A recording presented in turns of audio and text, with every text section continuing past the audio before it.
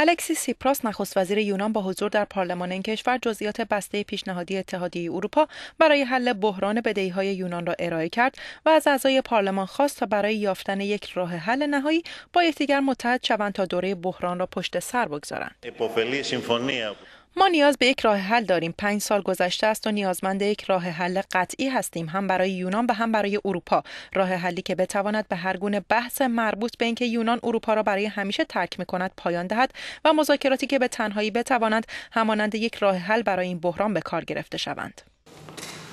που λειτουργεί πολλές φορές και ως αυτοεπιβεβαιούμενη προφητεία. روز گذشته یونان به صندوق بین المللی پول اعلام کرد که اولین قسط خود را که قرار بود روز جمعه بپردازد به تعویق میاندازد و تمام چهار قسط ماه جوان را به طور یکجا و در پایان ماه خواهد پرداخت. مشاور ارشد اقتصادی در مرکز اقتصاد و تحقیقات بازرگانی میگوید این اقدام دست یونان را در مذاکره باز میگذارد زیرا آنها میگویند ما این را پرداخت نخواهیم کرد مگر اینکه مطمئن باشیم که پولی در مقابل آن به دست خواهیم آورد. یونان در تلاش است تا برای آزاد شدن باقی مانده کمک مالی به این کشور در قالب طرح نجات مالی تا پیش از پایان نقدینگی دولت به توافق برسد.